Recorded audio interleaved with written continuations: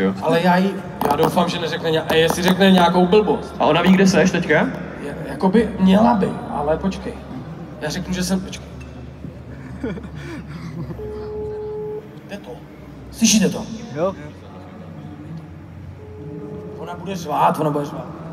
Tak na to se těšíme právě. Ano, Hej mámo, prosím tě, zavolej Pešlákovi, já jsem se zamčel na záchodech na tom Starfestu a nemůžu ven a nemůžu... to jsi fakt debil. Tak mu si zavolej sami.